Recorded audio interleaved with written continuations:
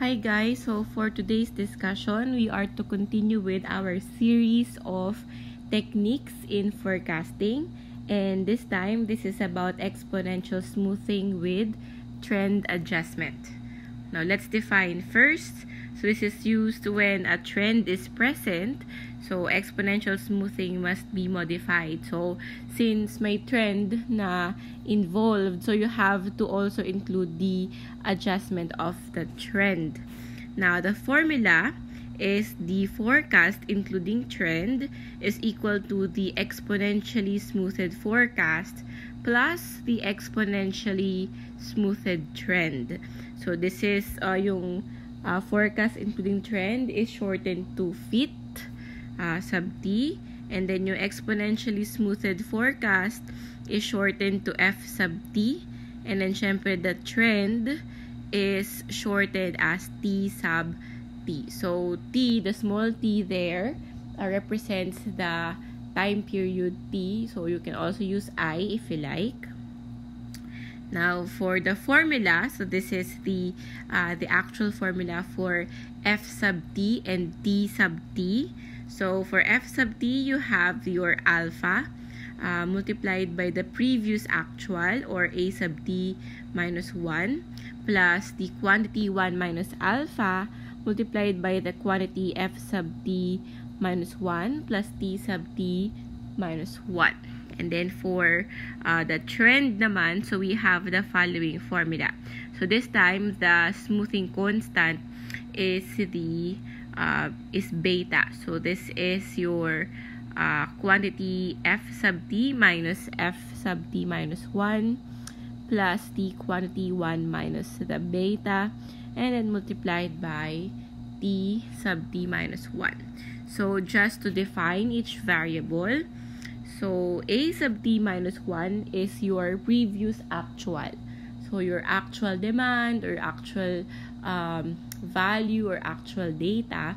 So, yun yung A sub t minus, uh, minus 1. And then, yung F sub t minus 1 is your previous forecast. And then, syempre, yung T sub t minus 1 is the previous trend. Alpha is a smoothing constant. And then beta is the smoothing constant for the adjustment. Now let's proceed with an example. Determine the forecast for period 6 using exponential smoothing with trend adjustment if the forecast for period 1 is 11 and the trend is 2. So we are to use an alpha of 0.2 and a beta of 0.4. Now take note that in this type of examples or using this technique, laging given yung um, yung forecast and yung trend. So we have the following um, period. So, ito yung ating mga data. So, you have your preview, uh, your period, actual, and then you have your forecast, and then the trend, and then yung forecast with trend or yung fit. So, we have the following data. So, ito yung tabular form or the tabular solution for this technique. So, syempre, if we are to solve for this one, So, let's just use uh, a pink ink. So, dahil ang fit or yung ating uh, forecast including trend is just the sum of your F and T. So, that's 11 plus 2. So, that is 13. Now, uh, if you remember the formula of or if nag-take note kayo ng formula kanina, so may technique kasi dito on how to uh, solve this one faster. So, balikan natin yung formula kanina. Ayan. So, si F daw is ang kanyang mga ini-involve lang is yung previous actual and yung F plus T. But take note that this one is also your fit. Diba? So, yung previous fit natin. So, kaya later on, we know kung ano yung dalawang variables lang na involved. So, we have your previous actual and yung fit from the previous period. So, balik tayo sa solution. So, again, nasaan ang previous actual? Kasi we are to solve this one. Ito yung missing eh. So, we have to know the forecast for period 2. And kapag dito tayo nakatungtong, so ang titignan lang natin is yung 12 and yung 13. Now, if we are to plug in the values of 12 and 13 inside the formula for FT, so that's alpha, which is 0.2 in the given example. So, 0.2 times 12, and then plus 1 minus 0.2, and then we multiply that by 13. That should give you an answer of... So, burahin muna natin siya. So that is 12.8. Okay. So now that we have the uh, the forecast, so next is trend. So balikan ulit si formula. So kay trend, ang hinahanap lang or yung involved lang na na variables is your current forecast and then the previous forecast and then yung previous trend.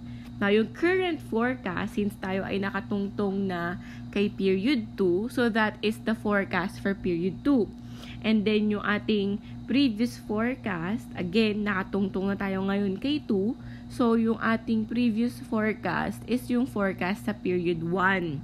So, again, that's the difference between your your current forecast and then yung isa naman is yung previous forecast. So, kung dito naman tayo nakatungtong, ang titignan naman natin is itong dalawang ito. So, we have 12.8 and 11. So, 12.8 is your current forecast. 11 is your previous forecast.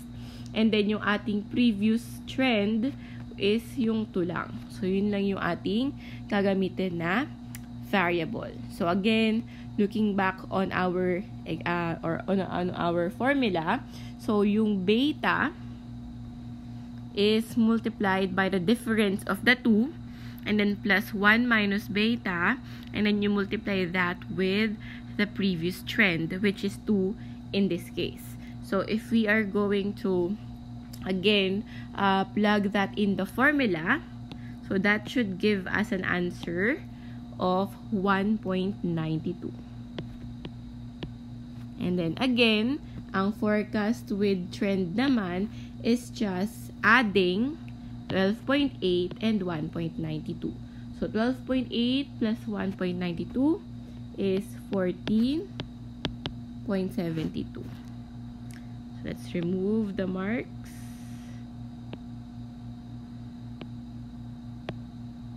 Para malinis lang yung ating solution later. Okay, sorry.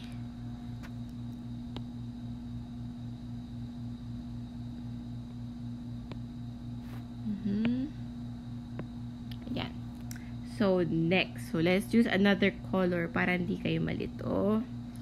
So, nandun tayo nakatungtong kay period 3. Again, ang ating titignan is your previous actual.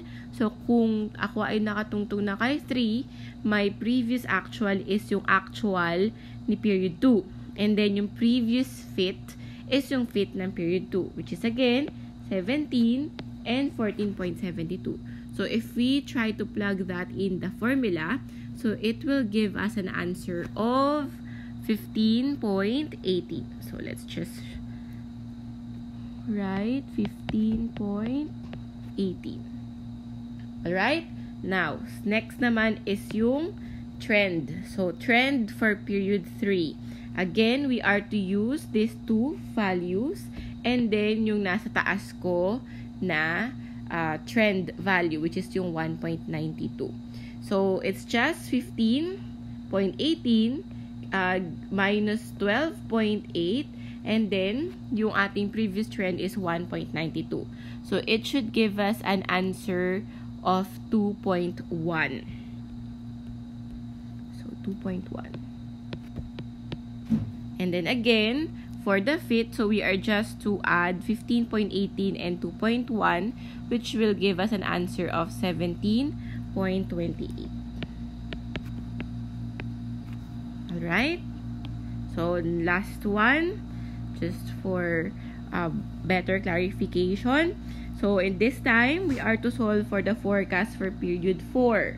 So, ang hahanapin ko, titignan ko lang na value is yung 20 and yung previous na feet. So if you plug that in the formula, again, that should give us an answer of 17.82. Next, trend naman. So again, from this point, i-minus ko kay 15.18 and then yung 2.1 yung gagamitin natin for the previous trend. It should give you an answer of 2.32. And then finally, add yung dalawa, 17.82 plus 2.32. That should be 20.14. So basically, we're just going to continue uh, papunta dun sa pang 6th period. So take note na yung feet ng 6 ang nawawala. So kasi maraming nag nag akamali dito na pag nakuha na itong F dito, okay na, tapos na. So, mali yun. So, you have to compute for the forecast including trend for the period na hinahanapan ng value.